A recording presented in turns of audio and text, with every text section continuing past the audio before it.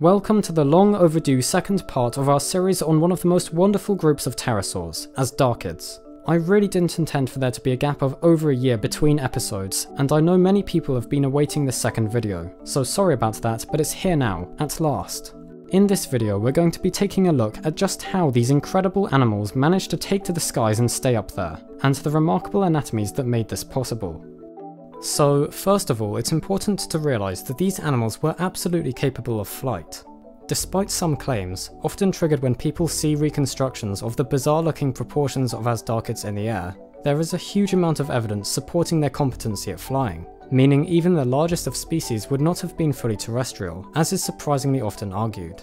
This issue is described by paleontologist, excellent paleoartist and pterosaur expert Mark Witton as arising when people, who may perhaps have knowledge of planes but not much of an understanding about pterosaur biomechanics, refuse to believe that such a ridiculous animal could perform powered flight, and at most must have simply been gliders, or only been able to fly when they were younger and therefore smaller in size. However, as Witton puts it, there is no debate about giant pterosaur flight among those of us who study their fossils, the press and social media fuss about the topic is a genuine paleontological controversy. So let's have a look at how giant Azhdarchids flew. Of course, the first stage in their flight is the takeoff. Just how did a 250 kilogram giraffe-sized animal get off the ground? Well, until relatively recently, it had been assumed that Azhdarchids, and indeed all pterosaurs, took off in a similar manner to birds, using their hind limbs to power a jump into the air to initiate flight. However, this method of takeoff has been found to be quite inefficient, since large muscles are needed in their legs to provide enough energy to jump and start flying, after which they become dead weight in the air that are not really useful in the locomotion of the animal until they come to land again. So if pterosaurs were using a bipedal launch system like birds, this results in a restriction of how large they could actually get, with values of just 75 kilograms for the biggest Azhdarchids if they were going to be able to launch themselves and get into the skies using this method. Very unrealistic weights. But this is where the quad launch hypothesis comes in.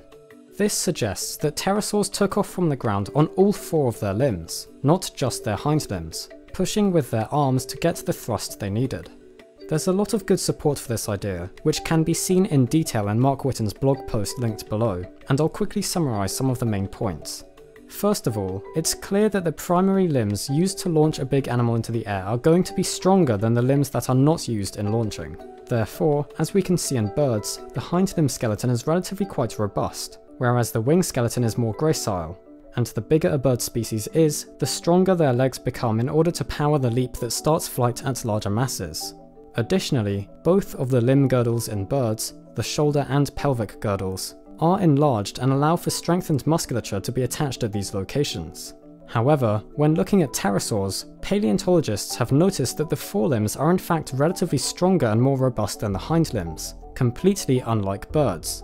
Also unlike birds, only the shoulder girdle is enlarged, and the pelvic girdle is relatively small, meaning not as much big musculature would be attached here.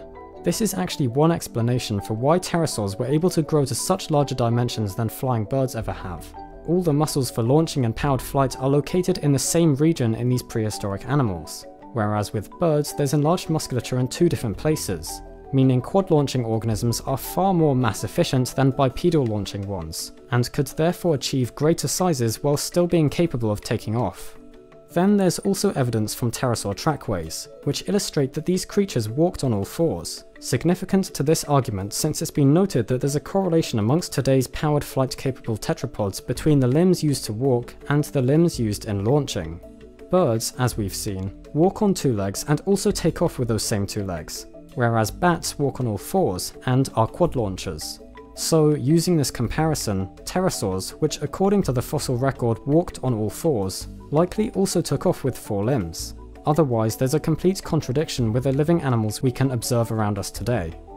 So it's a pretty solid hypothesis that nicely explains how such incredible creatures were able to fly. But once the pterosaurs were up in the air, how exactly did they stay there? It seems quite unlikely that the largest members of this grouping were taking off all the time, and would probably only have taken flight if they needed to avoid a predator, or about to travel over a significant enough distance. Indeed, despite their clear aerial proficiency, Azhdarchids were also very well suited to life on the prehistoric ground, as we saw in the last episode. So we should perhaps consider the giant Azhdarchid takeoff frequency as analogous to the very largest of the currently living flight-capable birds, organisms such as albatrosses and swans. In this case, these pterosaurs were probably soaring and gliding for most of their time in the air, with short bursts of flapping in order to maintain their altitude or search for an updraft to keep them airborne. Although, it's also been suggested that Azhdarchids could continuously flap their wings while flying, thanks to the powerful and enlarged musculature used for flight. The way in which these animals utilised their muscle power would also seem to be another key to getting these reptiles into the skies and getting them to stay there. It would have been impossible for large Azhdarchids to take off, even quadrupedally, using just aerobic muscle contractions. Instead, they would have mainly utilised more powerful anaerobic muscle contractions, but this would then have meant they needed to rest their muscles.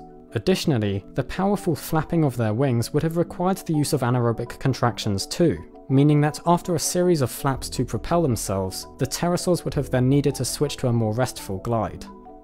In a paper published in 2010 by Witton and another pterosaur researcher, paleontologist Michael Habib, some absolutely astonishing conclusions on the true extent of giant Azhdarchid flight ability were reached.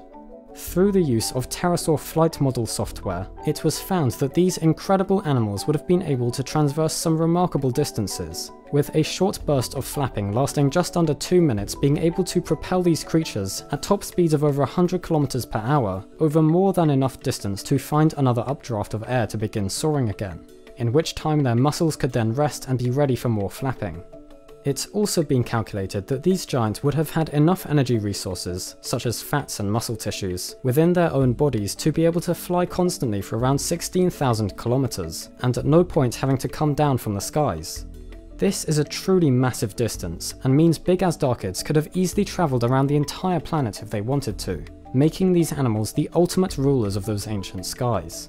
And, as Mark Witton again points out it's important to note, these values are obtainable using a modern day gravity and density of the atmosphere, and they therefore don't have to have been different in the past to allow for giant Azhdarchids to take flight. Finally, certain papers that have found Azhdarchids to be too heavy to fly have all been debunked in more recent studies that identified some crucial problems with the methods used in them. One of these papers, from 2009, used comparisons with petrels, albatrosses and shearwaters, concluding that at any mass greater than about 40 kilograms, takeoff in giant pterosaurs would be impossible. However, there are a great deal of issues with using these birds as direct comparisons for Azhdarchids, since there are many differences in their biology and the way they fly, in addition to, as we've already seen, a lot of disparity in their takeoff mechanisms and the distribution of muscle mass. Then there's a 2010 paper that calculated a body mass of over 500 kilograms for Quetzalcoatlus, a value that would indeed probably make this animal too big to fly. However, the reconstructions the models in this paper were being based on turned out to have a torso three times the length it should actually be, and when this was corrected, the mass went down to between 200 and 250 kilograms, a perfectly acceptable value that still works with the flight models. Also worth noting is that much, much smaller masses have also been calculated in the past, reaching as little as 50 kilograms, but this would simply be impossible for an animal the height of a giraffe to realistically achieve. It's important to remember though, that even with the huge heights and wingspans the Azhdarchids could get to, these were animals with significant skeletal pneumaticity, meaning their bones were filled with air spaces. So, although not weighing as little as 50 kilograms, this bone morphology allows them to still be surprisingly light for their size. So there we have the arguments that have been made for giant Azhdarchid flight, and as you can see there's a lot of pretty good evidence in support of this being a possibility. Of course, these pterosaurs were still also well suited to living on the ground, and likely would have spent a good deal of their time there when they were alive. It's therefore not completely out of the question that someday in the future truly terrestrial Azhdarchid will be found, one which was absolutely too huge to get into the air, or had a morphology that just did not allow it. But for the moment, all the giants of this group appear to have been quite capable of taking to the skies, a feat of nature that must have been an incredibly awesome thing to witness. I'd highly recommend having a look in the description of this video at the sources I've used if you're interested in this topic. The blog posts by Mark Witton are very good and go into a lot of technical detail, I'd also recommend getting Witton's excellent book on pterosaurs, linked below, which was used in the making of this video. Now unfortunately we'll have to end the video there, as I've decided to make a third part to this As Azhdarchid series. But don't worry, it should be out much much sooner than this one was. In the next episode, we're going to explore the various different lifestyles that have been proposed for these pterosaurs, and see which of them is most likely to have been the true way these remarkable reptiles lived. But, just before we go, we have a very exciting announcement to make. We're going to start doing a Paleo Art of the Week sort of thing at the end of every Sunday video from now on, in which we'd like to feature an artwork by one of you as a way to give back to this wonderful community. You can make any sort of artwork you like about any organism, not even necessarily an extinct one, and then submit them to us on our artwork chat on the Discord server, or by tagging us on Instagram if you like, and then we'll select one to go at the end of the next video. Make sure to also include your name on any social media accounts you'd like us to credit you by, such as a DeviantArt or Instagram account, so then people know where to find more of your art.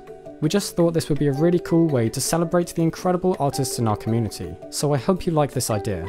Anyway, thank you so much for watching this video, I really hope you enjoyed it and learned something new. If you would like to find out more about our world, its history, and the wonderful life that surrounds us all, please feel free to subscribe to the channel if you think we deserve it, and if you would like to see more from us.